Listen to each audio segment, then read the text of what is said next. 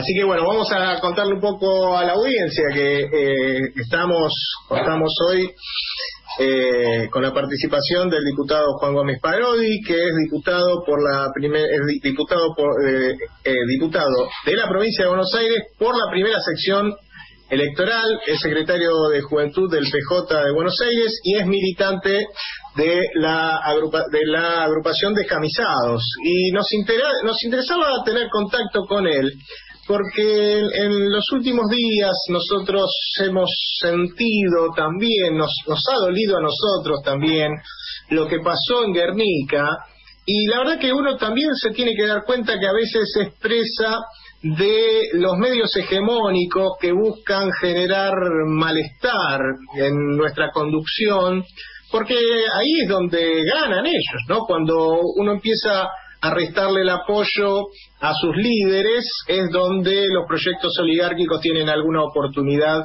de volver. Recordemos que los proyectos oligárquicos vuelven específicamente cuando tienen algo que saquear, ¿no? Entonces necesita que el peronismo esté en el medio. el peronismo, recupera, genera riqueza y después vienen ellos a saquear nuevamente. Pero nos interesa que nos cuente un poco eh, el, diputado Gómez Parodi. Este, lo saludamos. Buenas noches, diputado. Muchas gracias por estar con nosotros esta noche. Buenas noches, Adrián. Bueno, buenas noches, Ignacio, Susana. Muchas gracias por la, por la invitación.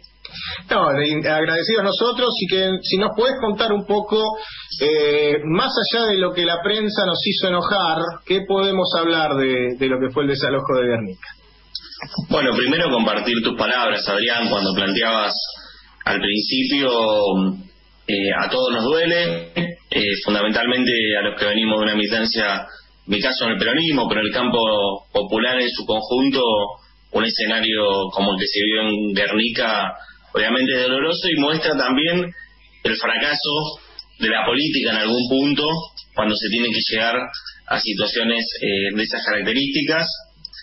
Eh, pero me parece que también hay una manipulación bastante perversa eh, por parte de los medios de comunicación y determinados sectores políticos, porque nosotros el día anterior a la represión en Guernica, el gobierno estaba siendo profundamente vilipendiado por esta idea de que se le iban a entregar subsidios de 50 mil pesos a las personas que estuvieran tomando. Algunos intendentes, charlábamos, yo soy de 3 de febrero, el intendente de mi distrito hizo un Twitter junto con otros intendentes como Jorge Macri, empezaron a construir la idea de que el gobierno le iba a pagar a la gente que estaba tomando. Bueno, no era así.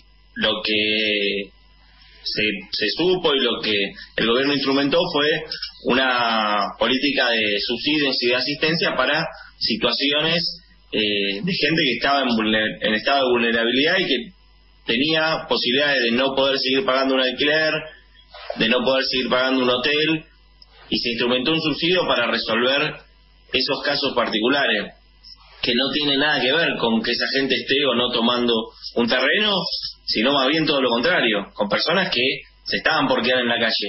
Al otro día lo que vimos es todo lo contrario, ¿no? La idea de que es un gobierno eh, represor, la idea de que es un gobierno que intenta con, con represión resolver la protesta social y me parece que mm, lo que no se puso y no logramos tampoco nosotros poner en evidencia es que el gobierno tuvo dos tipos de políticas. Una política que, que fue más de carácter coyuntural, que es esta de subsidios para resolver el problema urgente, pero después otra política que tiene que ver con el acceso a la tierra y con el acceso a la vivienda, que es la construcción de 80.000 lotes con servicio, que anunció hace muy poco el gobernador y que se está trabajando en ubicar los terrenos eh, que, existen en la provincia de Buenos Aires para hacer esos lotes con servicio y la construcción de cero de 32.000 viviendas.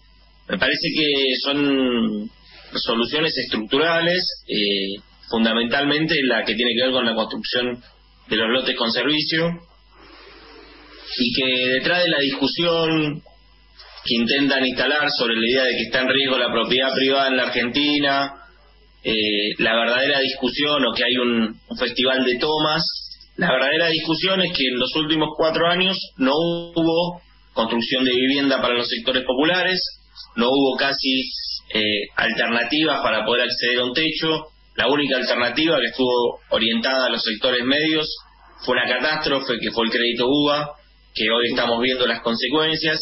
Entonces vemos como en cuatro años no se construye vivienda, no se eh, permite acceder a terrenos eh, de manera legal eh, y después se intenta plantear que en Argentina está en, en riesgo la propiedad privada. En ese contexto me parece que, el gobierno no hizo más que cumplir una orden judicial, que, que intentó postergarla y logró postergarla en dos oportunidades, que durante ese tiempo hubo un operativo interministerial del Ministerio de Desarrollo de la Comunidad de la Provincia, eh, que logró que la mayoría de las familias eh, pudieran acceder a soluciones eh, habitacionales y se fueran del lugar y que, después de eso venció ese plazo el Ejecutivo Provincial no tuvo más alternativas que cumplir con la orden judicial y tratar de garantizar el desalojo con la menor cantidad de, daños fundamentalmente resguardando la integridad de las personas que estaban ahí, ¿no? Entonces me parece que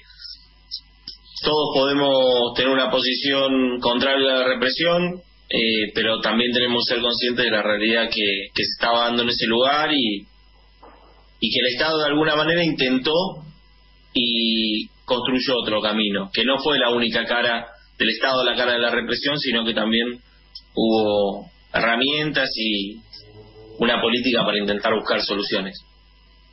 Es muy, es muy interesante este caso en particular para mostrar cómo funciona mm, los la sociología electoral, las neurociencias, eh, la distorsión de la voluntad del pueblo eh, que termina votando a su propio opresor. Fíjense este caso, ¿no? De un lado, eh, esto es como cuando Cambridge Analytica utilizaba la información de Facebook para saber por dónde entrarle a la gente y que terminara votando a Trump.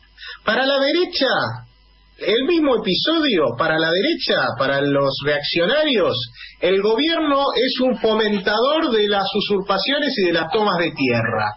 Eso es lo que quedó en un sector de la población. Y para la izquierda, el gobierno es un represor que soluciona el problema habitacional a los garrotazos. Y es el mismo episodio. El mismo episodio nos hace quedar mal con la derecha y con la, con la izquierda. Son fabulosos, sí. Susana y después Ignacio. No, una acotación a lo que vos dijiste. Em, en el caso particular de la izquierda, eh, es también, eh, creo, el diputado me puede rectificar, es una, ha sido una agitadora. Es decir, en realidad eh, se iba con un censo, según tengo entendido, se realizó un censo y siempre le venían, aparecían nuevos, eh, nuevos habitantes del predio y los últimos, según también tengo entendido, que quedaron eh, y que fueron eh, tuvieron que ser desalojados a la fuerza por las por las fuerzas policiales eran producto de la izquierda según no sé si si es así pero me parece que había bastante militante ahí eh, y muy pocos eh, muy pocos habitantes de, eh, muy poca gente que, que había ocupado ese predio no sí una cosa cortita con esto con esto que decís Susana hace aproximadamente 25 días, un poco más, hubo un, operativo interministerial muy fuerte con presencia de muchos ministerios, estuvo la, ministra de la Mujer, eh, y en ese momento lo que se veía es que la, las organizaciones de izquierda, fundamentalmente el Partido Obrero, eh, le impedían a los funcionarios del gobierno eh, acceder a determinadas partes de la toma con la idea de que iban a romper eh, la organización eh, que se estaba dando ahí. Entonces eso es una herramienta que utilizaron para que la gente no pueda eh, tener contacto con los funcionarios y con los trabajadores del ministerio para poder acceder a determinadas soluciones.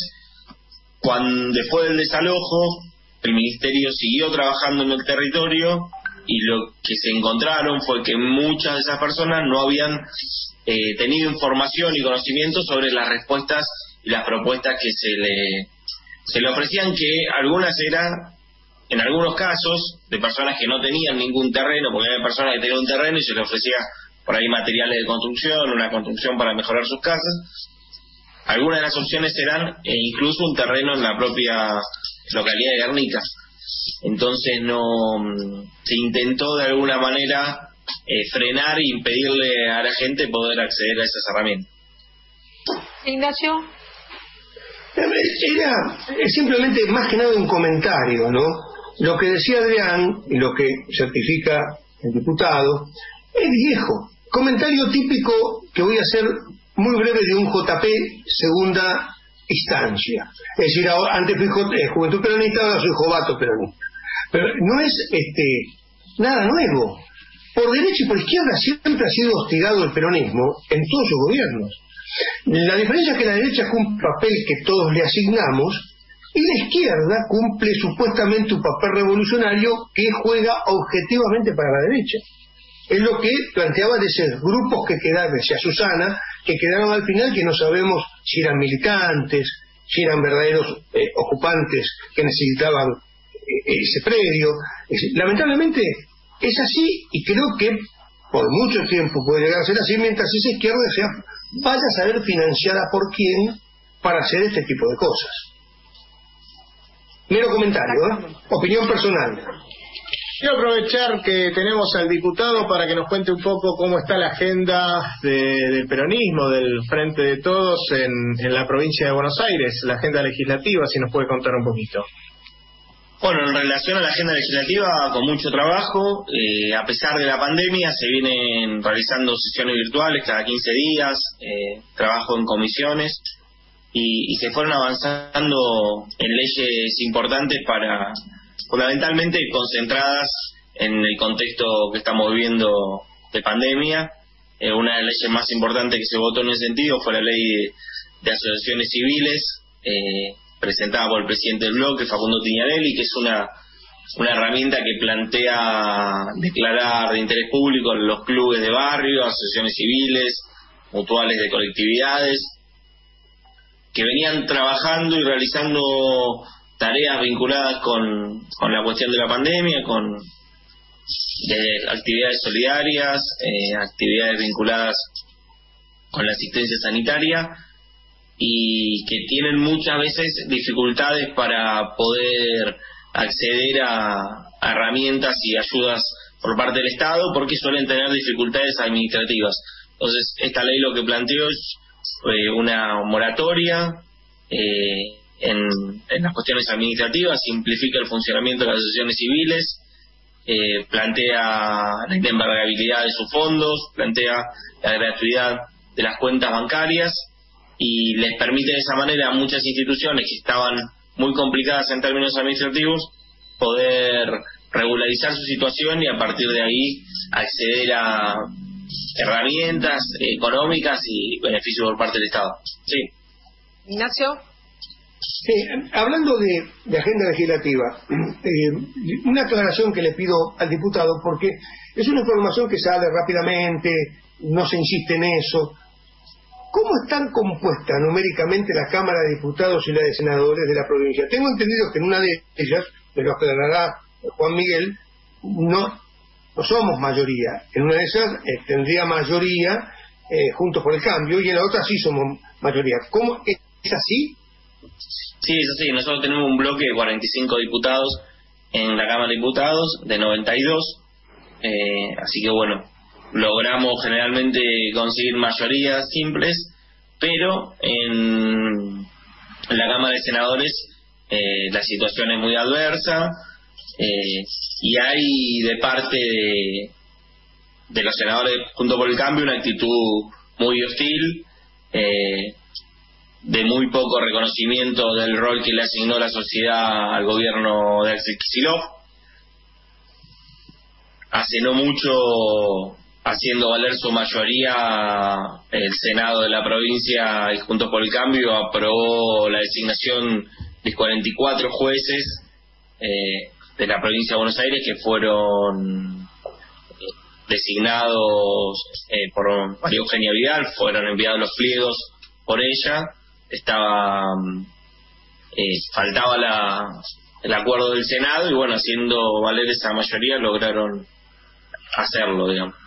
Eh, hay una situación bastante complicada en ese sentido y generalmente la política de Junto por el Cambio es trabar eh, todo, el, todo tipo de iniciativas que vienen de la Cámara de Diputados, incluso algunas que son eh, beneficiosas para toda la sociedad y no, no necesariamente afectan intereses, porque nosotros podemos entender que cuando se plantean determinados intereses ellos tengan una posición contraria, como fue el caso del impuesto inmobiliario rural, que, que afectaba solo a 200 familias de la provincia de Buenos Aires, eh, y, y a pesar de eso se, se opusieron. Pero es difícil que nos se opongan y que encontremos su oposición, eh, aun cuando son leyes que no afectan ningún interés. Bueno, esos eran los que iban a hacer el gobierno del diálogo. la oposición dialoguista iba a ser, la oposición que quería una provincia mejor. Sí, Ignacio. Eh, no, rápidamente. Trump entonces no inventó nada con nombrar a, un miembro de la Corte Suprema a pocos días de dejar el, cargo porque tiene el Senado a su favor. Eh, Haley le ganó por paliza, hizo nombrar 40. Realmente hay que, eh, esto hay que destacarlo, los argentinos somos creativos sin duda alguna, y más si somos de Juntos por el Cambio. Por suerte nosotros tenemos un sistema electoral robusto eh, y confiable y no tuvieron posibilidad de no reconocer las elecciones como creo que está haciendo Trump, por lo menos vemos por lo menos. Tal cual, tal cual. Bueno, ustedes vieron estas repúblicas bananeras como Estados Unidos que tienen elecciones y pasan los días, no se sabe quién es el presidente. Viene a mi memoria al infeliz de, de Schwarzenegger este, presentando una película con Marley, el, muchacho este de, la televisión, y que lo, cargaba porque habíamos tenido cuatro presidentes en diez días en el 2001. Y bueno, esto este, la, gana Al Gore y, y gobierna Bush. Este, mm, ahora parece que Trump no quiere reconocer que gana vive. La verdad que es una cosa rarísima. Le, agradezco. increíble después cómo los Estados Unidos le van a explicar a todo el mundo cómo tienen que ser las democracias liberales y, el respeto de las instituciones cuando no solo hoy no están reconociendo la derrota, sino también un hecho que pasa bastante desapercibido, pero que es terrible, que es la situación de movilizaciones armadas que se dan constantemente en Estados Unidos, eh, que sectores que iban a votar por los demócratas encontraban las escuelas rodeadas de gente con armas largas, intimidando. La verdad que es eh, dista mucho lo que pregonan en el mundo.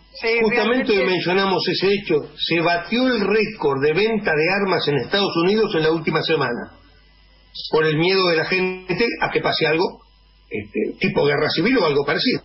Realmente, sí. Le agradecemos al, al diputado Parodi, le agradecemos la, participación de hoy y que sepa el diputado que este es un programa compañero, que, que es bastante escuchado y que acá tiene un canal para difundir todo aquello que los medios hegemónicos no, no le permiten. Así que lo despedimos y le agradecemos mucho